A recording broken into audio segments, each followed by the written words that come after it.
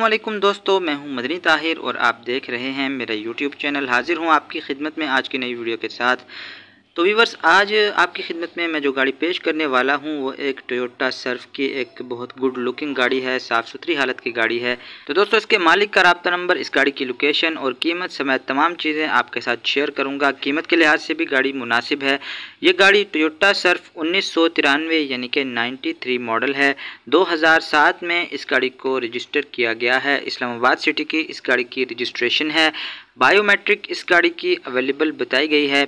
Engine के लिहाज से अगर बात करें तो पेट्रोल इंजन इस गाड़ी में आपको इंस्टॉल मिलेगा। Double cylinder C N G automatic transmission गाड़ी है।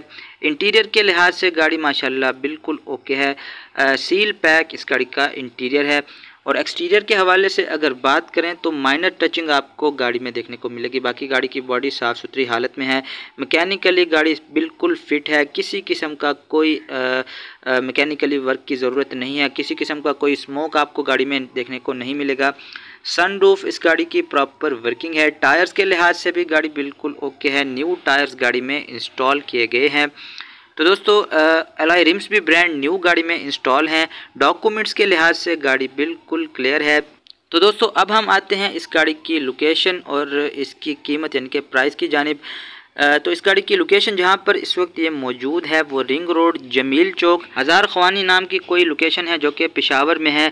वहाँ पर ये गाड़ी खड़ी हुई है। तो गाड़ी माशाल्लाह फिट है बिल्कुल। तो इसके मालिक के मुताबिक इस गाड़ी की जो डिमांड यानी कि कीमत है वो तेरह लाख और अस्सी हज़ार रुपये बताई गई है। तो दोस्तों, इसके मालिक का जो रबता नंबर है वो है जी सिफ़र तीन डबल चार पाँच आठ एक नौ पाँच तीन चार। वैसे आपको मेरे फेसबुक पेज पर भी मिल जाएगा ये नंबर जिसका लिंक वीडियो की डिस्क्रिप्शन में मौजूद है।